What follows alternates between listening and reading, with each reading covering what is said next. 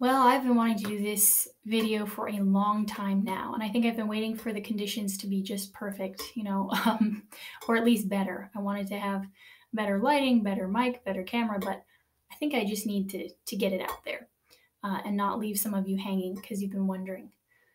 Uh, so, for those of you who don't know, if you may be watching um, and you don't know what this is all about, I had a YouTube channel back in 2010 I took it down a couple of years later, but uh, one series of videos that I did on the topic of feminism were re uploaded to YouTube by viewers.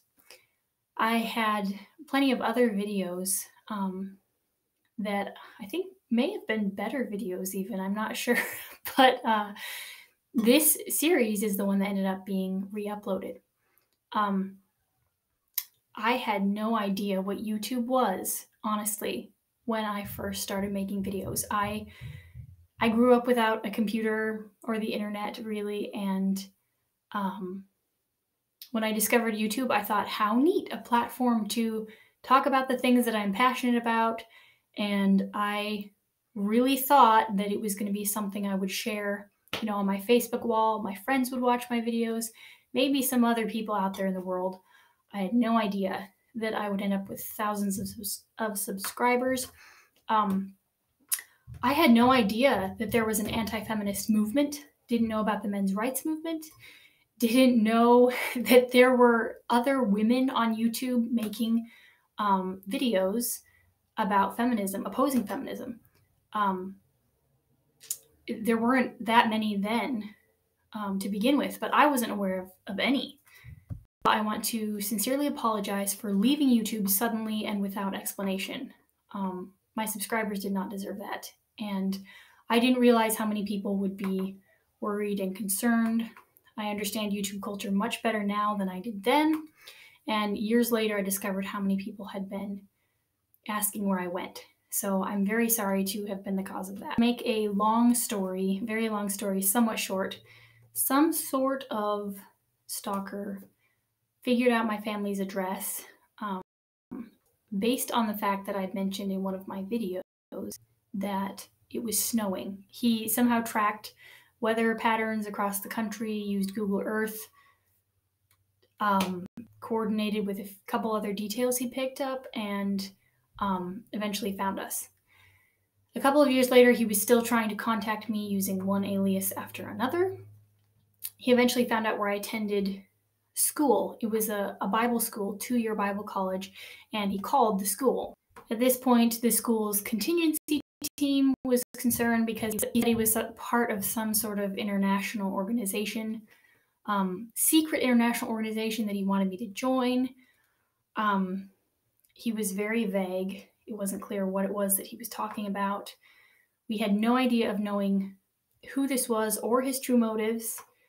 Um, but in any case, he kept sending me these literally book length messages and was not honoring our requests to stop trying to contact me. At the time, my now husband, who was my fiance at the time, and I were planning to get involved with an overseas organization that didn't want us to have a huge digital footprint. So, taking into account our our future and the fact that this stalker evidently knew where my family lived, uh, my husband and the school asked me to delete my YouTube account as soon as possible uh, to prevent similar future situations. I have no doubt that it was the right thing to do, um, but I was also incredibly sorry to not leave my subscribers any sort of explanation.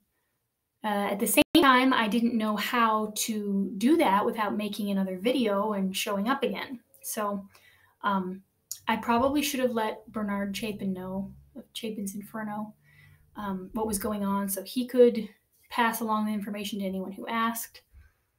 But um, I didn't. Long story short, I am happy and healthy. I'm loving life. I have a husband and three young children, and I'm currently pregnant with our fourth. Still uh, exposing feminism as much as ever, but in my current season of life, that's largely taken the form of Facebook posts and other social media platforms. Um, when my husband and I reached the semi recent decision that it was probably time for me to take the risk and have a YouTube channel again, um, a former subscriber sent me a link to a channel that had re uploaded uh, my feminism series. And I was shocked to note that the video has over 600,000 views and like 8,000 comments. Um, and I think it was at that point that I read some of the comments and rumors about my disappearance that I really began to feel terrible about not leaving any kind of an explanation. At any rate, um, this is still a huge passion of mine, and it's my goal to see hearts genuinely transformed. I love having conversations about these things with women in real life and online. Um, I'm grateful to occasionally hear from women who tell me that I changed their mind on feminism because of the conversations we had or books that I was able to recommend to them. Um, so that's been very rewarding. Um, if you have any questions, please feel free to comment them and I'll try to get back to you later. I'm not going to be making videos regularly right now. Like I said, I'm pregnant with my fourth child. I really want to prioritize my husband and my family, my children, uh, in this season especially. But in the near future, whatever exactly that means, I am very much looking forward to making videos again. Um, I guess bottom line, I did receive death threats and was heckled quite a bit while I was on YouTube, but those were not ultimately my reasons for leaving.